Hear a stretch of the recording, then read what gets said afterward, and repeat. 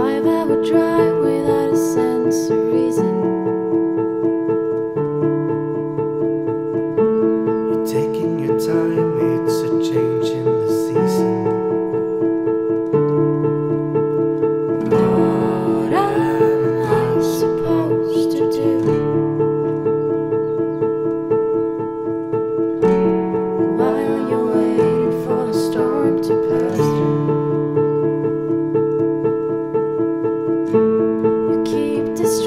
dancing.